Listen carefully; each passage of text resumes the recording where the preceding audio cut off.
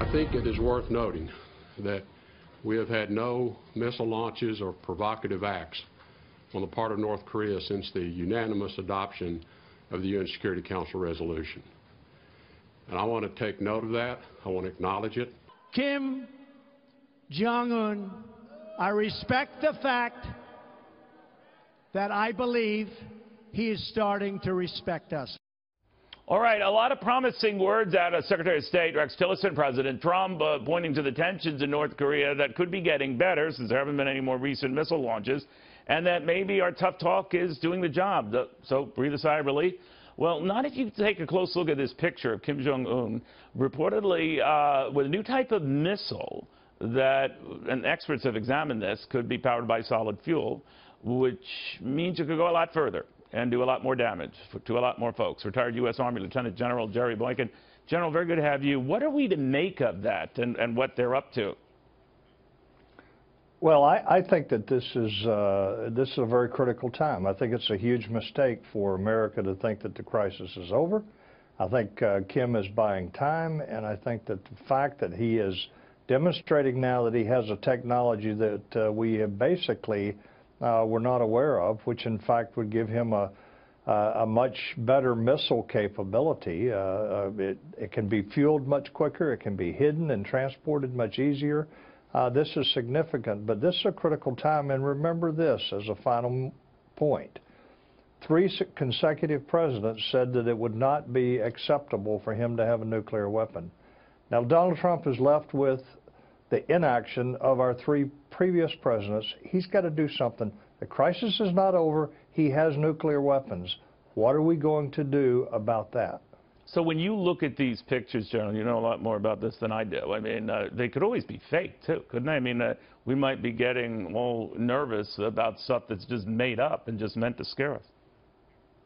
Well, they could be fake, but let's remember that he's had a lot of support from not only the Chinese and the Iranians, but he's had support uh, indirectly from the Russians as well. So the fact that he has uh, these capabilities, I don't think should be a big surprise.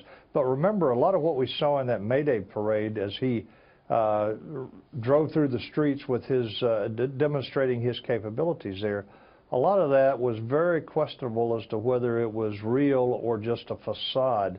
So I don't think we actually know uh, the veracity of these reports or photographs. Do you worry, General, that if we take solace and comfort in, in, in having a few weeks go by without a missile launch, that that, that itself is a little tragic, that we're grateful for a period of time that's fairly limited, only a few weeks, where he hasn't done this, when the average has been one every other week, that we're, we're so desperate for signs of progress, and this is Democrats and Republicans as well, that we, we, we take false comfort here. Yeah, uh, look, I, I wish that Secretary of State and the President both would would uh, speak a little more realistically about the situation here. Uh, it was predictable that he was going to back down on the threats to firing missiles at Guam.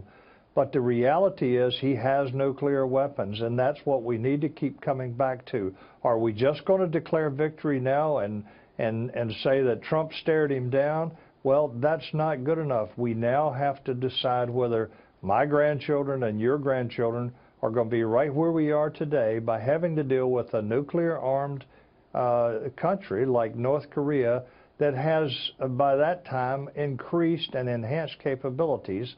And uh, as far as I'm concerned, uh, President Trump's going to have to deal with this on his watch, and we're going to have to find a way to de-arm uh, this uh, this madman that's sitting on nuclear weapons. What if they already have that technology? You know, you you made a statement in the beginning about having the technology now or close to it now. What if they already have it? And like so many of these other countries, we feared getting the bomb, whether it's India or Pakistan, yeah. and they have it, and they join a club, but they're a rickety member of that club. Then what? Well, first of all, remember, Kim is, even though he's crazy, certifiably crazy, he's not totally irrational. Uh, he, there is a streak of rationality in this guy, and he knows that if he uses a nuclear weapon on any of uh, our allies, that he is going to lose North Korea. He's going to lose his country. He's going to lose his life. And the U.S., and he knows it, and the South Koreans have had uh, concepts for years, for decades, they've had uh, contingency plans for going into North Korea and uh, stabilizing a North Korea uh, that would be, uh, I guess you could say, in a state of anarchy as a result of uh, a war taking place there or the North Koreans coming south. So he does not, he's not that stupid.